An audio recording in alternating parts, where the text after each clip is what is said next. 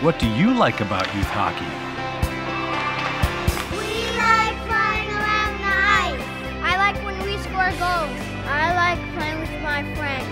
I like what youth hockey brings out in our kids. What will youth hockey bring out of your kid?